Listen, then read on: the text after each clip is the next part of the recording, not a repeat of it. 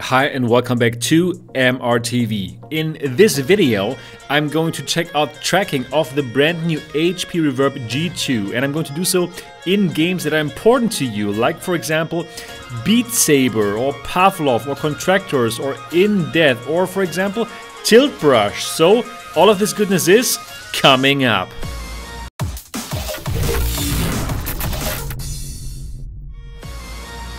Alright, welcome back to MRTV. My name is Sebastian Ang and this channel is all about virtual reality. I'm bringing you unbiased and honest reviews of all the VR headsets and I'm showing you the tracking of the HP Reverb G2 now here. So, if you have not yet subscribed, absolutely do so now and click on the bell button so that you don't miss anything. Alright, but now let's talk about the tracking of the HP Reverb G2. If you don't know yet what the HP Reverb G2 is, it's an upcoming VR headset that you can pre-order now, the link down in the description. And if you have not yet watched my preview of the device, then absolutely do so now because you don't want to miss this. This is an amazing VR headset and I can wholeheartedly recommend it to you. Alright, Beat Saber. So now trying it here with expert mode and I can tell you it works really great. You won't have any problems playing Beat Saber with the HP Reverb G2. So if this was your concern, simply watch the video and you will see it works. If I'm missing one of those blocks, well, it's not the HP Reverb G2's fault, it is simply my lacking skill in the game. So it would be amazing to have someone who can really play Expert Plus actually try this and show this to you. But I can tell you, this works like a charm and you won't have any problems playing this.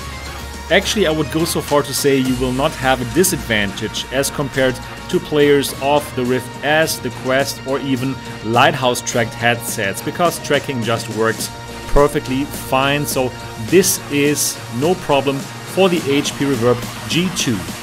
Now, let's go to the next game, and that's In Death. So, a wonderful bow and arrow game. And, well, lots of people are wondering can you play bow and arrow games with the Windows Mixed Reality headsets? Yes, you can, and even better now with the HP Reverb G2 because it has two more cameras.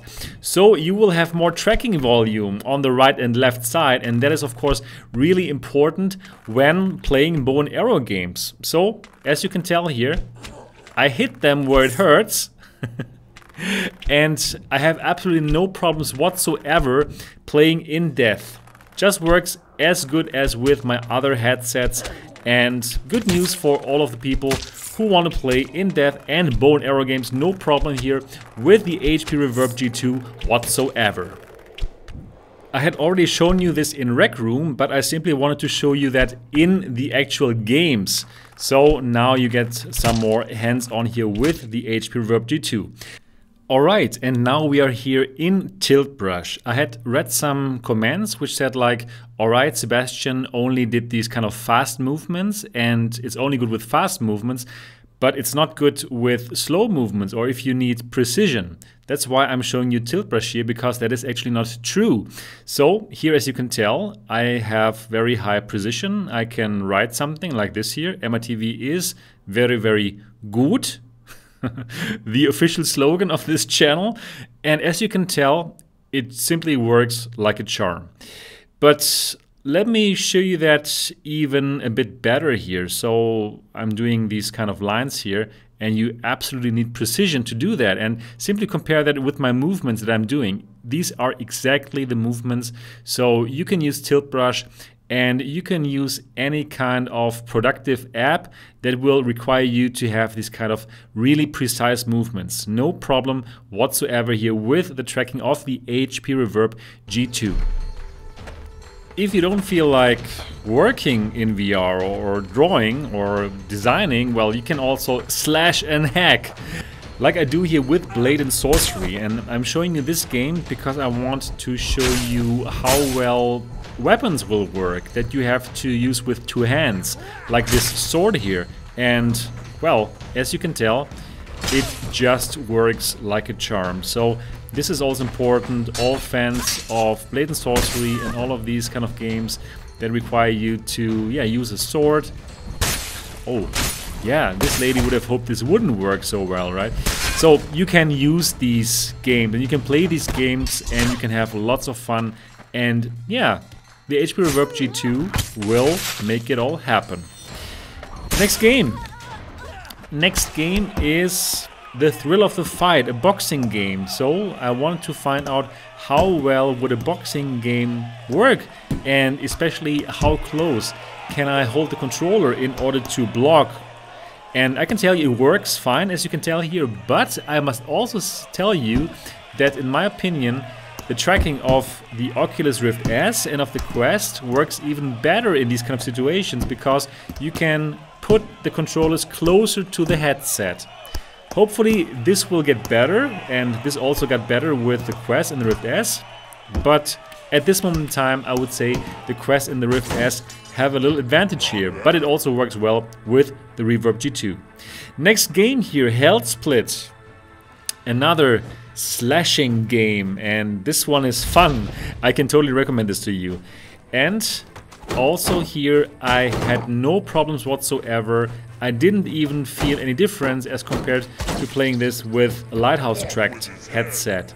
So, if you want to play Hellsplit Arena, check my shadow here, you can also do this really well with the HP Reverb G2.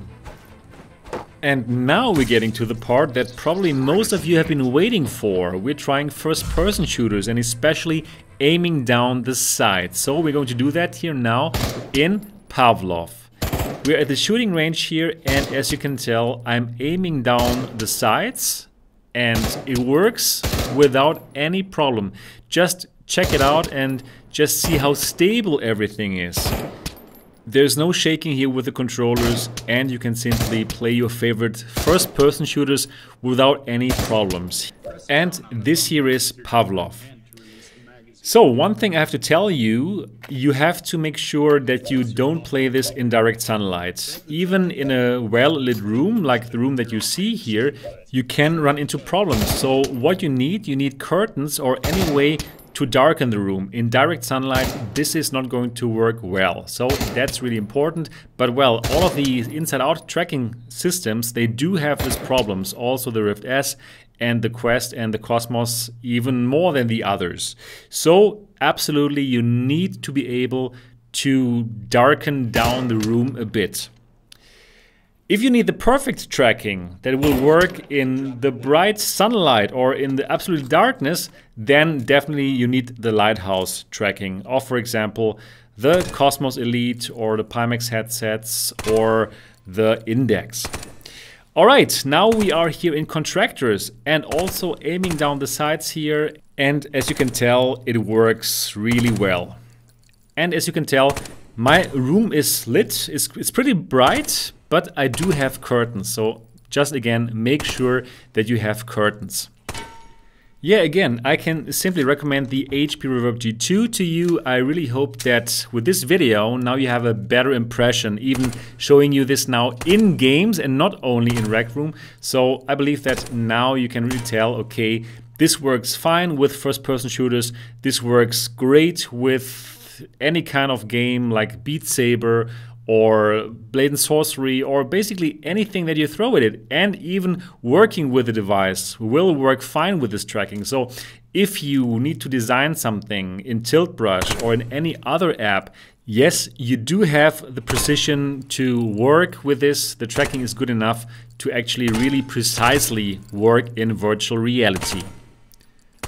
So, big recommendation, the HP Reverb G2, you can pre-order this right now and the links are down in the description of this video. If you're in Europe, this is going to set you back 584 euros.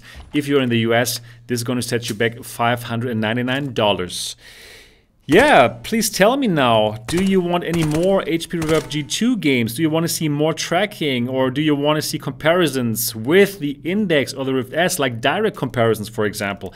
That might be interesting for you if you're wondering, hey, what should I buy? Should I buy the Index or the Rift S or the Reverb G2? If you want these kind of comparisons, please do let me know in the comment section below. And that's it for this video. I really hope that you enjoyed it and that it was helpful for you. If yes, give it a thumbs up. And of course, if you've not yet subscribed to MRTV yet, do so now. And I'm looking forward to see you in the next episode.